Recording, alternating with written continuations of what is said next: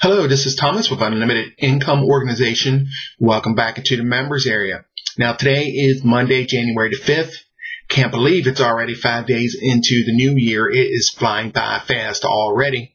And I hope you and your family had a great holiday season. But now it's time to get back at it. Time to get back at building those long-term incomes. And I got a couple quick updates for you.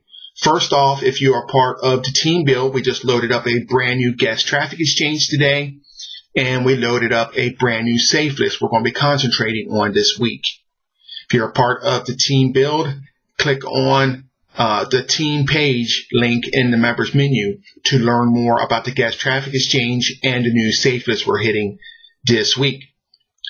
Also, the MTE Enterprises Points Contest is still ongoing, doesn't end to January the 15th.